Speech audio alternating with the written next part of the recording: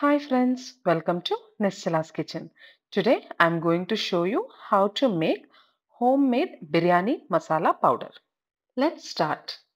The ingredients are 1 spoon elaichi, 1 spoon pepper, 1 spoon shahi jeera, 4 nutmeg flowers or mace, half cup coriander seeds, 4 biryani leaves, 1 spoon cloves, 1 spoon jeera, 5 big coriander or bada elaichi, 1 nutmeg seed, 1 and a half spoon cinnamon sticks cut into small pieces, 1 and a half spoon kasuri methi, 5 star anise.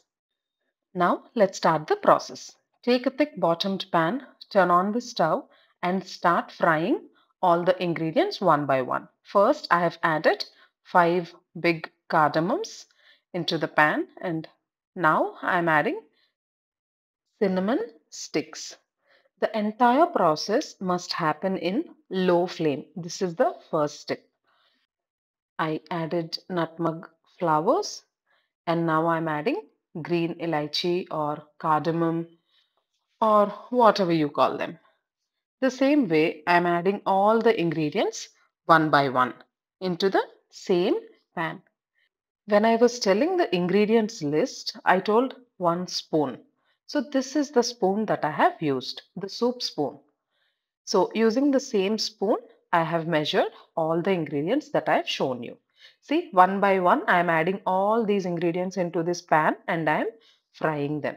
Once again, remember, you must keep the flame in low throughout the procedure.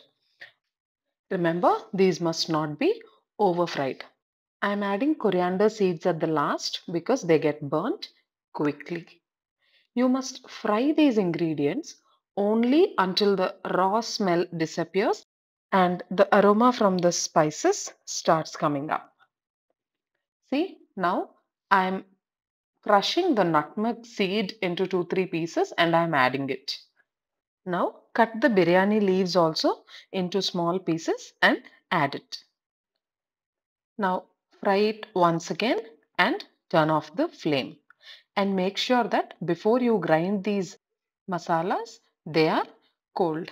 And also the mixer jar that you are using it should also be dried well and kept ready to grind these masalas.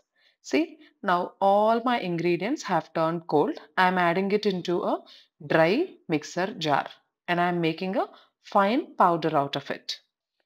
Just before grinding, add 1 teaspoon of turmeric powder and a little salt.